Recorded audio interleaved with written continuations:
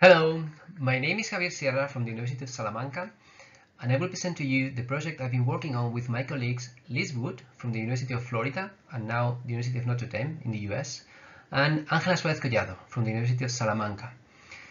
It consists of a virtual exchange between the two universities and it was focused on a public policy research project, as you will see. Uh, students enrolled in two different courses participated in this project a group of students from the course on development politics from Salamanca, and a group of students from the Global Health Disparities and Disabilities from the University of Florida. They were organized in 21 groups, inter-university groups, meaning that there were students from both USAL and University of Florida in every team. And they were working on topics connected to these areas, access to healthcare, mental health and psycho psychosocial support, sexual and reproductive health and HIV, nutrition and food security, water, sanitation and hygiene, WASH, and strategic health information.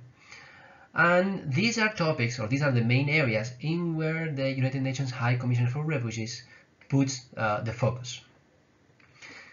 We structured the project in these five different weeks, and every week uh, had a different purpose. So as you can see here, every week uh, was based on a set of micro objectives designed to enhance the acquisition of several learning outcomes.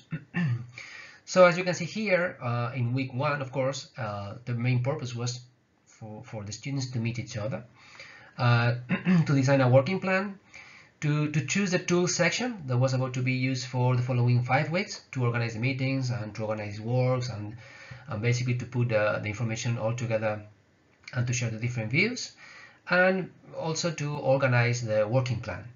In this case, the, the main learning outcomes was for them to, to understand the, the theoretical context and the content of the project, to learn about the area-specific knowledge for students from one course, to learn the, the, the, content of the students from the other course, and so for generating these synergies and these complementarities between the two different profiles.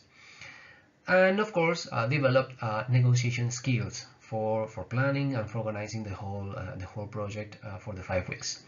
Then on week two, uh, the main goals were to distribute the different tasks and responsibilities, uh, to do some research about these topics, and of course to readapt or reschedule the planning uh, based on their on their needs, and on their on their availability, and the problems that arose during the first uh, two weeks.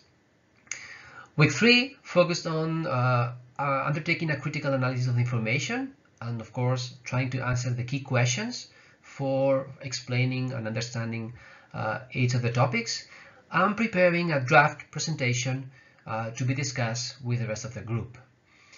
Week 4 focused on summarizing the research and preparing the main conclusions that would be prepared and presented in a final presentation to the rest of the group.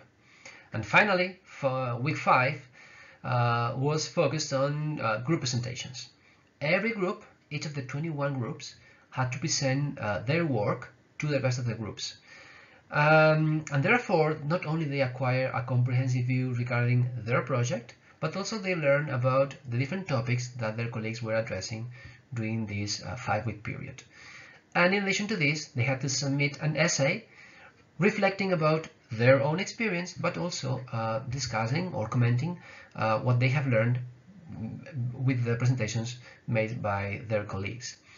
And with all of this, we used uh, both the presentation and the essay uh, as part of the grading for the two courses.